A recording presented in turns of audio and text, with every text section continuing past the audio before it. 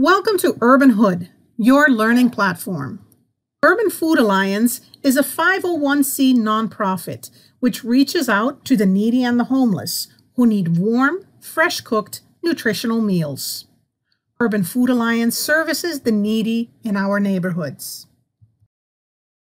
Uh, and definitely practice with paper paper trading before you get into the money with real markets. Right. So once again, this is just a quick little disclaimer, guys.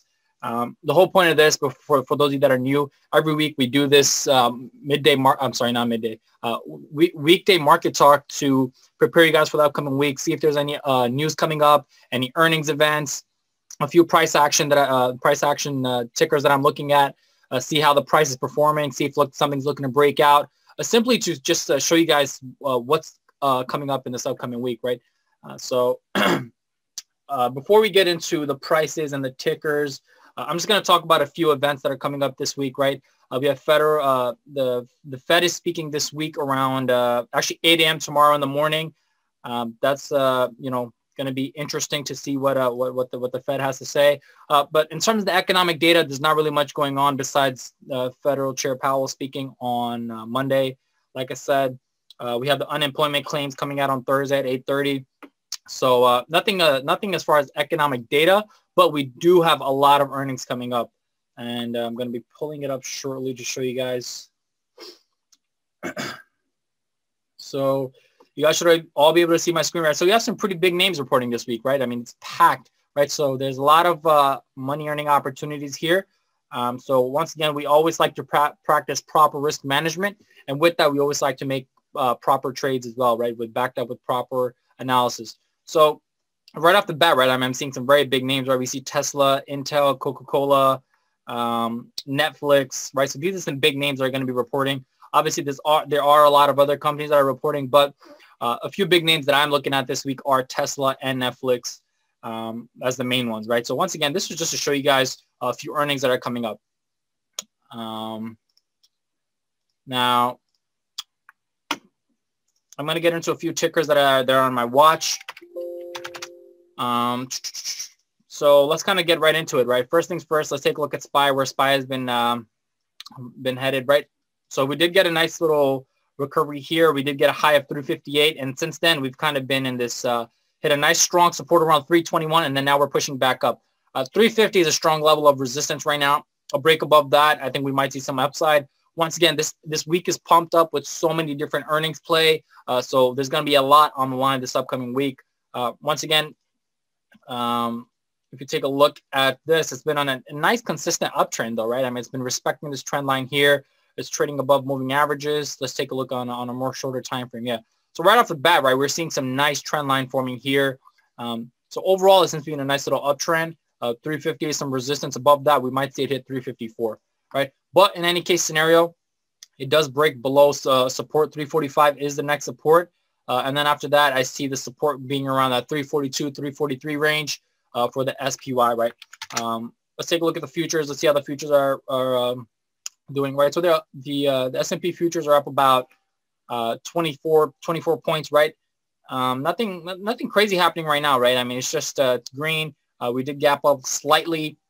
Let's take a look at the, the NQs. Um, likewise, right? They're up about 1%. So we're seeing some nice movement. Uh, we're getting a bounce off the strong level of support right here. We did gap up. We do have some uh, overall resistance around uh, 12022. Other than that, right, there's nothing uh, nothing crazy going on. The futures are green, so that's that. Now, as far as some, some tickers that I want to take a look at. If you guys take a look at um, Tesla on the four-hour chart, what we're seeing it's sitting at a crucial level of support. Right, 435 is a crucial level of support for Tesla, uh, along with uh, it also sitting at the 50-day simple moving average. If we do get a push, if we do get a bounce from this, uh, we might see it break these key levels that I have here. Um, for those of you, let me just zoom in so you guys can see it a little bit better. Right there, right? So uh, my key levels, right, they essentially act as price targets. Above 445, I think has room to 453.45. Above that, I think has room to 463.88. Once again, keep in mind that stocks do have, stocks do tend to go higher into earnings. And um, I have the same expectation for Tesla. Once again, anytime it comes to earnings, guys, it's extremely risky if you're not familiar with the risk that comes along with comes along with trading options, especially with earnings, uh, definitely make yourself familiar with that. Now, I'm gonna pull up. Bear with me. Uh, my other screen. Okay, so you guys should be able to see the screen right now, right? What we're seeing on this screen is uh, uh, Tesla earnings, right? So the average surprise we're looking at is roughly 5%. Um, and as you guys can see, it ha- uh, Tesla has been having a five-year growth of at least 12, 12.4%. Uh, they, they, report earnings on the 21st. So uh, once again, we want to keep this in mind. And it's just uh, this is just a little little picture to see what's really going on with Tesla. Now, another thing I want to show you guys the thing with Tesla. Uh, options monitor. So one thing that I like to look for is unusual options activity, right? And right off the bat, what we're seeing is um, significantly more volume on the call side, right? So around the uh, 450 calls that are expiring in about 33 days have around almost triple the amount of volume as the 450 puts that are expiring on uh, in about 33 days, right? So once again, as far as the sentiment, it looks a little bit bullish. Uh, uh, once again, you have to look a little bit more into the financials of the company to decide any specific option trade. Um, but that's as far as I have for um, good old Tesla. Now moving on, next thing I want to take a look at is Apple, right? Apple, nice little downtrend. What we're seeing is a nice little uh, triangle wedge pattern that's forming, right? Uh, if it breaks out above this, I think above 122 is then I would only play it to the upside, maybe with 123 calls expiring a week or two weeks out.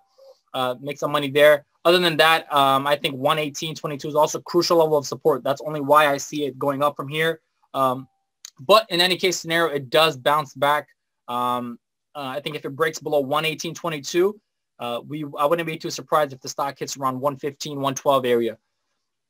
Now, for those of you that are within our gold membership, I think we signaled buying stock Apple, I'm, if, if, I'm not mistaken, around 109, 112 area. So for those of you that did uh, sell around this 127 area, uh, makes a decent profit there. Moving on, Microsoft, right? Just looking at some large cap stocks, what we're seeing is uh, previously this was a crucial level of resistance, which is now acting as a crucial level of support, as you see here. So once again, very similar. It's also kind of in a in a in a pattern, as you guys can see here. So let's kind of see how it plays out. It is treading up. Uh, with the elections coming up, there's obviously a lot of certain uncertain uncertainty around the markets. Uh, so let's all be prepared for that as well. Let's take a look at Amazon. Amazon, we saw it dip pretty low, and then buyers pushed it up pretty aggressively.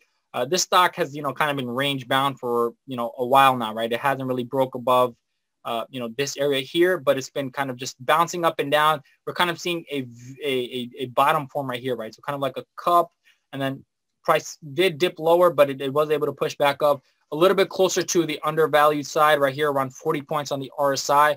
Um, so that's that. Uh, let me see if I have any other information here. So another thing that I like to do, guys, this is a service that UFA provides. It's uh, access to unusual options activity as well as dark pool information, flow algo, all that good stuff. Um, essentially, what you get to see is where the big hedge funds, wealth managers, pension funds are putting their money, right? Um, and this is mainly done through dark pools, right? This is for those of you that are aware of what dark pools are. Uh, and you guys can see, you guys get to see where large orders are being put in, right? There's a $114 million trade placed around 1248 for Boeing. Uh, 680,000 shares were traded around that price point, right? So all in all, this is what also what I like to take a look at. Now, if you guys take a look at Tesla, right, if anyone's looking to play Tesla calls this week uh, as far as earnings, uh, let's let this low. Right, so as you guys can see, someone paid almost a million dollars, well, oh, a little over a million dollars in premium uh, for 470 calls that are expiring on the 23rd. Right, so once again, uh, there's a lot of bullish sentiment, right? We haven't really seen some large trades as far as puts. Um, another stock I'm going to take a look at right here is NIO, right? NIO, uh, as you guys know, has gained a lot of traction in the last week. And if I think I have my Bloomberg open here.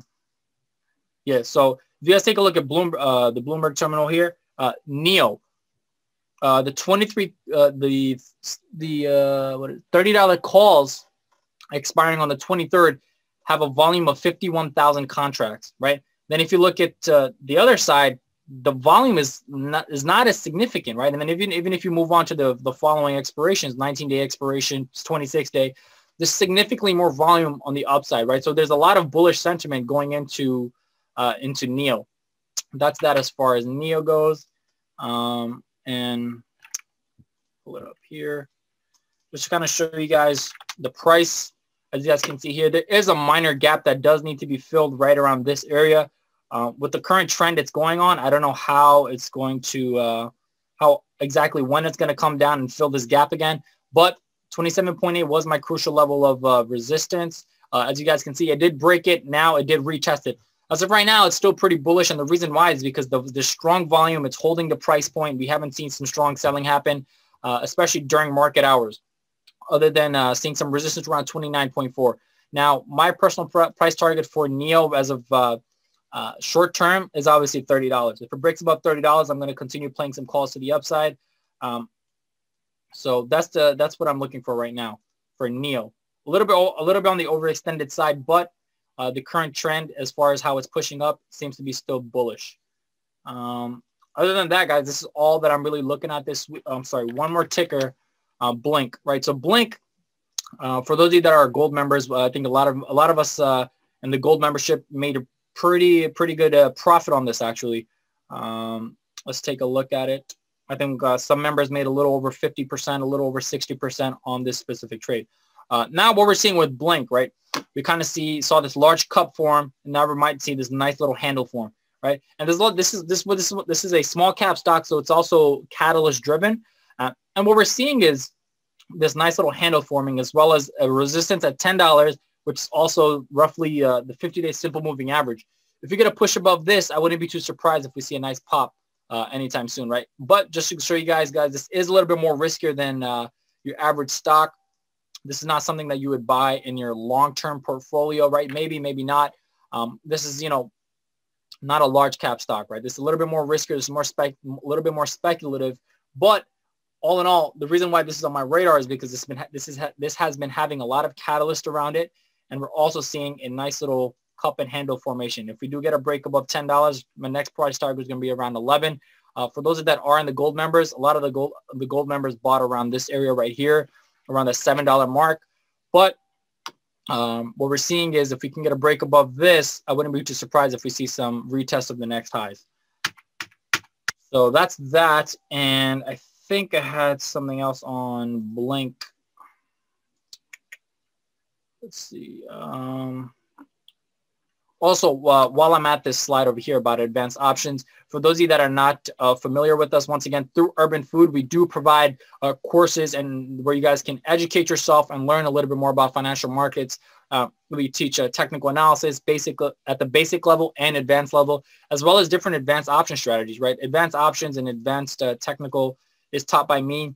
I think someone else is actually going to be taking over the advanced technical and uh, advanced options is going to be done by me. But this is just a rough uh, a slide that's showing you different scenarios as far as uh, you know debit spreads. Right. Once again, this is just one option strategy. Uh, this is a thorough, a very well rehearsed uh, presentation. Right. So a lot of students who took this class saw that there was a lot of benefit that came out of this. So anyone looking to enhance and take the trading to the next level, I highly recommend you take this uh, and simply educate yourself. But that's what we have here. Uh, another thing that I wanted to show you guys as far as Blink is uh, just some insider transactions that were going on. Um, so first things first, right? If you take a look at the, uh, where is it? Um, the percent change in insider positions has been uh, uh about two and a half percent change in insider transactions. Now, if you take a look, anytime that there's been an, that there's been an insider uh, buy the stock, as you guys can see here, bottom around here, bottom around here, the stock has continued to rally, right? Now, the reason why I'm a little bit bullish on this specific stock is because, let me just draw on this to show you guys, um, is because insider transaction, there's some buying activity that happened around this area right here. This is around the price point of around 757, a little bit higher than what uh, I told the, the gold members to buy it at. But what we see is I see this as a crucial level of support, right? So we are in profits right now, but as you guys can see, the last time something like this happened, the stock did see some nice highs. Uh, and then we did see this to be another buying point. And then now, if we do get a break above 14 $12, I think we're going to see some new highs for the stock once again. Um, so that's as far as the insider transactions go. Um, let me see if there's any other information here that would be of importance. Um, another thing is we're seeing a lot of institutional money going into this, right? Uh, if you take a look at the ownership summary, um, right here, right? So we're seeing a lot of uh, uh, institutional money coming in here. Um, as you guys can see, they have a decent amount of positions, right? A little over 400,000 shares, BlackRock. Uh, so Morgan Stanley. So there's a lot of, there's not a significant dollar amount, Wells Fargo, Royal Bank of Canada. So once again, there's a lot of money coming into it. Um, that's usually a good sign when institutions begin to uh, dive into a certain ticker. Um, so like I said, guys, that's really all I have for you guys for this week. If you guys have any tickers that you guys want me to take a look at, please write it in the chat box. But before you do that, guys, please write it with some sort of context. This way I can uh, better cater to your specific ticker. Um, so I'm going to look over at the chat box, see if there's anything you guys want me to take a look at. Where is this chat box?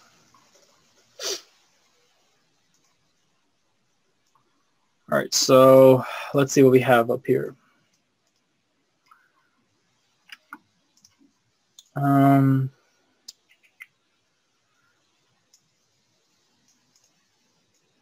Tesla, Netflix, what are the factors we should look for when they report the quarterly results? Um, that's a little bit more on the fundamental question. I focus more on technicals. Uh, so you would have to do a little bit more research on the fundamentals of the company and how they've performed in the previous, right? So this is not really a one snapshot question that I can answer. Uh, DPZ, once again, guys, please write some sort of reference uh, and context that I can uh, refer. Uh, first ticker we are taking a look at is FSLY. Uh, fell down. Is it worth going in? Um, it did fall 5%, but I think it still does have a lot of room to the downside. Uh, just because there's a gap that needs to be filled here. It did get filled. We did see some push to the upside. Um, once again, if this is a company that you believe in the long term, the best thing that you can do is DCA, dollar cost averaging, right? There's no such thing as a perfect exit. There's no such thing as a perfect entry. Buy some here, buy some here, buy some here, buy some here, right? Um, that's the best thing you can do. But as far as short term, what we're seeing is uh, uh, it did drop pretty aggressively. I do not know exactly why this uh, catalyst. Oh, wow. So a little bit more I feel so why. So it did drop significantly, actually. And this is a crucial level of support. Um, I think it still has room down to 73 just because this is the main level of support that it has. Um, if it breaks below 85, I think it has room down to 80. Below 80, it would definitely has room down to 73. Only then would I look to buy it. Um, other than that, um, in fact, right now it's actually completely undervalued around 10, 27 points on the RSI. So it wouldn't be too bad of a decision to, uh, you know, buy it on this, considering the RSI being relatively at uh, 27 points. But anytime a stock does significantly fall, for example, something like this around 135 to a low of 85, you have to be very careful and understand what is the reasoning behind this because if this is a trend that's going to potentially continue, you have to be very, very careful. Um, any level for Amazon? Can we go back? Uh, Amazon, we already went over, but let's see. Uh, Amazon, yeah. So my, my levels are right there if you want to take a look on uh, 333 uh, around uh, 3340. Right, crucial level of resistance. Break above that, I wouldn't be too surprised if we hit around 3 400. Above that, 3 400, I think we have room to around 3 500. Right. Um, Facebook this week let's take a look at Facebook, right? So Facebook, a lot of these big techs are sitting around this uh, crucial level of uh, the simple moving average, the 50-day simple moving average. So uh, if they break below that, we might see some push to the downside. But once again, there is a lot of talks regarding the stimulus. I think Nancy Pelosi uh, says that uh, the White House has till Tuesday. So a lot of investors are going to be waiting. Uh, once again, we can do as much technical analysis as you want, but anytime there's some sort of news that comes out, it's going to throw your technical analysis out the window. But as far as Facebook, right, it's very similar to a lot of these other tickers. Like I said, crucial level of support. Um, if it breaks below around 263.74, uh, I think has some room to the downside. Um, I wouldn't really play the stock to the upside as of right now, as far as short-term options or any specific strategy like that. And the only reason why is because it has no specific direction. As you can see, hit a high of 307, consolidated, came back down, uh, dip low, formed a double bottom, pushed back up, and now it just doesn't have no specific direction, right? So when I look to trade, I look to find a, a stock that has a direction, but I don't see that with the stock. So um, I'm not going to really uh, touch it as much. But for anyone that does want to learn how to make money with a, when a stock has no direction, there are ways to do that as well, right? There are advanced option strategies where you can make money from a stock staying within a specific range, right? You don't have to make money when the stock goes to the upside. You don't have to make money when the stock goes to the downside. You can in fact make money with options when the stock stays between a specific range, right? Uh, once again, those are courses that we do offer through Urban Food Alliance. So definitely guys get a little bit more information on that. Um, anything on Boeing? Boeing, let's take a look at Boeing. Um, Boeing still, you know, once again, range bound, right? There has not been any significant price direction for this. We did get it. We did get it to break below 153, and then the right the next day, what did we see? A strong push to the upside. Now the stock says see some resistance around 175, right? So 175 is a crucial level of resistance right now. Uh, a break above that, uh, we would I would like to see it maybe play around to 181, 184 area. Um, other than that, it's once again also at that sim- at that uh, 50-day simple moving average. Um, once again, this stock, a lot of these stocks don't really have a specific direction, especially for something like Boeing, right? I mean, we look at Boeing for such a long time. What has it been doing, right? It has not been able to break out of this little channel it's been stuck in right here, right? I mean, it's just continued, right? We did get a minor break, but the next day it shot right back into this, right? So we're just seeing it bounce up between 153 and 195. Um, so that's as far as Boeing. Um, Netflix, please give some sort of context here. Roku and Peloton, after these pops, upcoming earnings, will it tend to push further? Uh, stocks do tend to go higher into earnings, not all, but most do. Um, but let's take a look at uh, Roku, right? So um, Roku, mid-valued on the RSI, so it's not too expensive, not too cheap. But what we're seeing is it does have some more room to the downside. So I think it has room to 218 uh, and then it can potentially move uh, to the upside again just because it still has to hit that moving average there. But as you can see, it did respect this trend line for quite some time. Uh, recently, it broke below it, so that is a negative sign. But uh, let's see how the price action plays out, and uh, only then I think I would uh, make a decision. Peloton after these pops. So Peloton, right? So Peloton has been having a nice trend line to the upside. If we draw on this,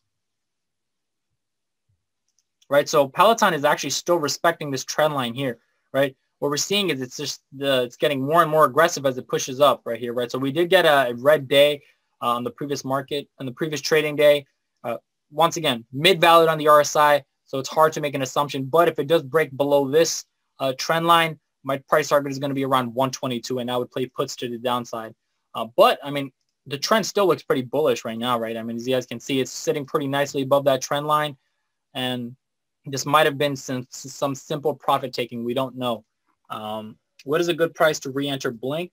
Um, a good price to re-enter Blink, um, I would say uh, if, it, if it dips around eight, um, around eight dollars, then I would buy a little bit more. But other than that, I mean, I'm not uh, looking to re-enter. I have a decent position in this right now. So, like I said, I uh, simply don't like to, you know, time the best exit, the best entry. I just like to spend enough time within the certain stock where I can continue buying a little bit more every day and uh, have the best average as I can. Uh, but for this specific stock, I think uh, right here is where we bought the first time. And I think a lot of people sold around $12 mark um, or around the 766. But like I said, I'm still holding this. I still think the stock has a little bit more room to the upside. Um, DPZ earnings were good, but went down. Um, yeah, so once again, as far as earnings go, even if earnings are reported good, stocks can fall, right? There's, there's no such thing. There's no law that says if a stock reports good earnings, the stock has to go up, right? There's a lot more that goes into uh, the earnings of a stock. Um, Pfizer, some news around vaccine, right? So once again, that is a stock that you cannot do as much technical analysis on. And the reason why is because it's simply catalyst driven. Someday it's going to be shooting down. Someday it's going to be shooting up. Someday it's going to be shooting down. Um, but it's hard to do, like I said, technical analysis on this. And the reason why is because it's purely catalyst driven, right? Vaccine news. But if I were to do anything on this, I would say that there is forming some sort of wedge pattern here, right? I don't know if this is happening through price action or catalyst, right? So this can either uh, be a really good sign for that the stock is setting up for a nice little breakout, or this is obviously just uh, not a uh, an accurate uh, representation of uh, what the stock price is really doing.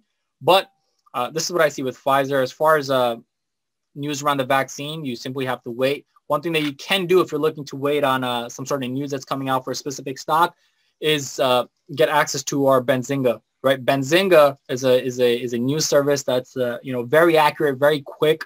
So a lot of people like to trade biotechs, pharmaceuticals. They they refer to a lot of the uh, the services that UFA provides. One of which is Benzinga. Uh, how does Nasdaq index QQQ look this week? So we already touched on that, I believe, if I'm not mistaken. But um, let's see. Let's clear this so we can see it better right? The cues, right? I mean, I think uh, we're, we've been seeing a nice push to the upside, right? I mean, a beautiful push to the upside. And now what we're seeing is a nice little cup form. Uh, if we do get a retest, I would consider this a cup and handle formation. Uh, and then I would like to see it break above, let's see a little bit closer. Um, yeah, so as you can see, nice little cup and handle formation forming. Uh, if we do get a push above this again, around two, 295, 296, if we do get a push above 296, I wouldn't be too surprised if we hit 300. If we hit 300, I think that's going to be a bullish indication, right? But as of right now, I think we still look pretty bullish, right? We're still sitting above the 50-day simple moving average. Um, what is the consensus on Guild? They're reporting earnings on the 23rd. Their remdesivir sales is expected to be high, but I'm not sure about their forward guidance. But with their recent acquisition of Immunomedics, they are expected to perform well in the next two to three years. What is your takes? Thanks in advance. Sure. Um, so as far as technicals, right, I mean, you can't, once again, I always say this when it comes to a lot of these pharmaceuticals, you cannot do technical analysis on these as much. But um, as far as what you're telling me, as far as the remdesivir sales being good, there's just a lot more that goes into, uh, you know, determining whether stock is going to be good long term. I, I, can't answer that question in, in, a snapshot with all the information that you gave me. One thing that I would say is if you take a look at uh, some possible bullish activity, let's see.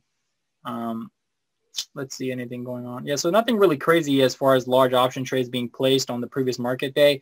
But uh, let's see. I mean,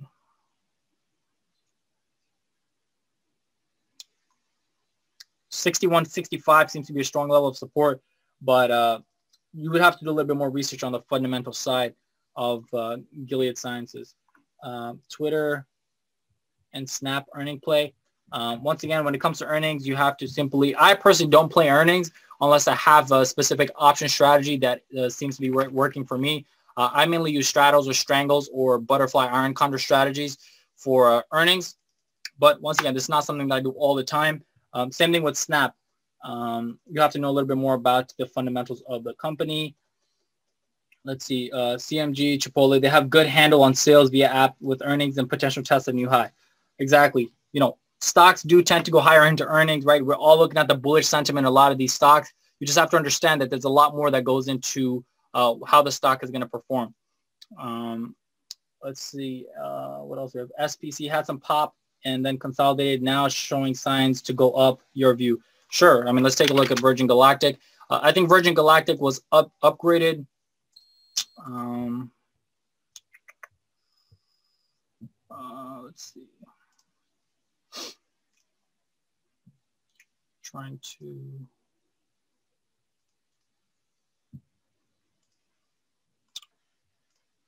yeah so let's take a look at virgin galactic. What we're seeing with virgin galactic is did have some resistance around this price point right here.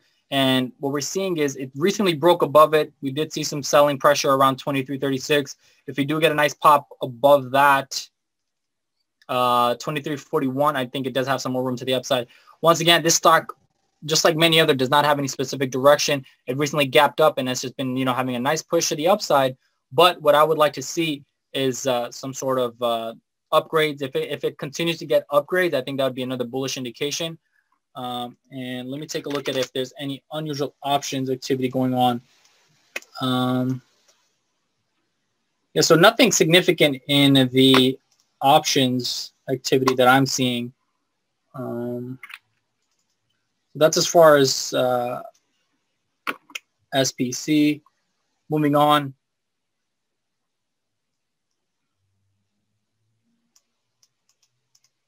XLF and financials uh, still good to stay in or is in range bound for a while. Um, let's take a look at the chart. Yeah, I mean, this stock, I mean, anytime you see a moving average sort of, uh, you know, plateau and become a straight line, that's that's usually a sign that a stock has, uh, you know, become range bound. As you see here, it's in, you know, kind of in this trend line right here. It's just been sort of bouncing up or and around this moving average. So this stock would need a, you know, this would need some clear direction.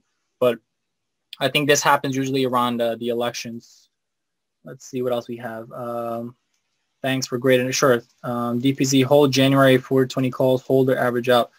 Um, I mean, let's just take a look at this. Uh, right. I mean, this this specific ticker, right? I mean, as far as the upside, it does have a gap that needs to be filled around this area right here, right? So around 430, it does have a gap that needs to be filled. But the day that this stock did drop, it had an increase in significant, almost I think uh, quadruple the volume, right? From almost a million shares to the next day, almost 3.7 million shares that were traded that day, right? Um, there, there is a gap that needs to be filled there. But as far as, uh, let's take a look.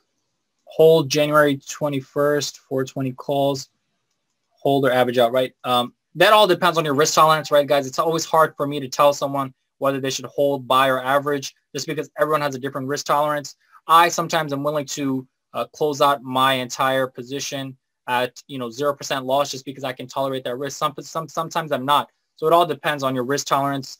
I would need a little bit more information on that, but let's see. Uh, someone else says UPWK due to COVID uh, work from home. Is it good to enter at this level? Um, let's take a look. UPWK. I'm not familiar with this stock.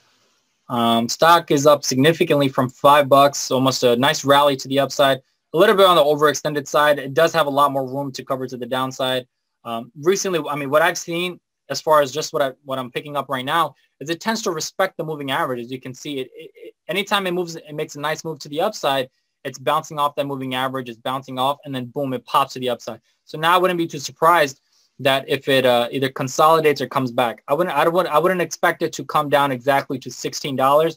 But if any case scenario, it does come down and I do look to buy into this again, one area that I would look is around 1758, right? That seems to be a previous level of resistance and it's now going to act as a strong level of support. Um, let's see a little bit on the, on the, on a shorter time frame. Yeah, so it's approaching support again, right? So if it breaks below 1973, a good time to buy might be around that 1758. Um, what's up with AMD? I don't know what's up with the AMD. Let's take a look. Right, very similar as well, right? AMD has been having a nice push to the upside. Made a high of 94.28. Nice little cup here, nice little handle here. 87.22, some resistance. Above 87.22, I'd like to play to around 94, 95 dollars uh, as far as calls. Uh, in any case scenario, it does break to the downside. Uh, $80 is my level of support. A break below that, I would scalp it or day trade it or swing trade it uh, to 78. Below that, I think has room to 76.33. And below that, 73.6. Um, workhorse, WKHS. Let's take a look at that. Um, right, so it's at a crucial level of support, right? This is a crucial level, as you can see, previous level of resistance, now acting as crucial level of support. That's what we're seeing here. So 2151 is a good time to buy, in my opinion, right? We're seeing a lot of people bought the dip around this area. And I don't really trade this company at all, actually, so I wouldn't want to say too much on it. But as far as technicals, this is what we're seeing, right? Um, volume has died out, right? I mean, we're not seeing significant volume here, but 2151 seems to be a previous uh, strong level of support. If we get a break below that, I wouldn't be too surprised if, we, if this stock sees some downside. And the only reason why is because anytime a stock has some significant gains to the upside, has some significant gain uh, losses to the downside as well, right? Anytime a stock gains parabolically, you have to understand the stocks do have the tendency to uh, replicate that on the downside as well. So just be prepared for that if any case scenario that does happen. Um, I'm going to do about two more and then uh, I'm going to switch it over to uh, anyone else who would like to contribute for tonight's market talk. Thank you guys all for joining in advance. Uh, what about Costco? Some special dividend talks. Um, Costco, I think that's simply a catalyst, right? If there's if there is some sort of news that's going to come out about Costco, um, that's obviously going to push the stock up uh, in any case scenario about a potential special dividend stock, right? I'm not familiar with it, so I don't know uh, much about that. Seeking FDA approval on 24th. Um, once again, if you are looking to trade any biotechs or these uh, pharma uh, pharm pharmaceutical stocks or any F any stocks that require FDA approvals, just understand that the best thing that you can do is have access to a, a, a news service that can give you that news really quickly so you can jump on it as soon as possible, as well as have access to unusual options activity, uh, some dark pool data, see where if there's any large institutional money coming in uh, for a lot of these stocks. Um, that's something that you guys can use um, for biotechs, right? I mean, seeking FDA approval, that is usually a good sign for them, and they, they tend to spike on that, but they're very risky. Um, okay, you missed Visa, right? So Visa is going to be the last one I'm going to do. Uh, I'm sorry, I'm new. Are those white lines pivot dots, pivot points? Uh, so these white lines are not pivot points on my chart. These are actually my levels of support and resistance that I've drawn myself. Uh, for those of you that have been with us for quite some time, know that I do teach uh, advanced technical analysis, and a lot of people have had a lot of success uh, trading with my key levels. My uh, key levels are simply based on price action, volume, uh, and a few other technical technical analysis tools. Um, so these are not pivot points to answer your question. This is simply my my level of support and resistance that I draw based on price action um, you miss Visa. Um, I don't really know what exactly you want me to take a look at Visa, but uh, what we're simply seeing is uh, range bound, right? It's no, no clear direction. Um, let's see if I can sort of find something. I mean, there's no specific clear direction, right? I mean, there's nothing that I'm really seeing here with Visa. Um, yeah, I mean, this is, I actually don't have much to say about the stock. I don't really know much about financials about the company. As far as technicals go, right? I mean, it's mid-valued on the RSI around 46 points. Uh, it's not too high. It's not too low. Uh, I mean, that's all I have for the for this specific ticker. So, guys, thank you guys all for joining once again. Uh, this there's a lot of value that you guys can gain from becoming an Urban Food. Uh, I'm sorry, a UFA member. So definitely reach out. And on top of that, there's a lot of benefits, right? We are also a nonprofit where we take uh, the funds that we receive and we help feed the needy. Once again, that is just one part of what we do. We also help you guys educate yourself as well as teach you guys, give you guys on-demand videos and access and uh, mentor programs.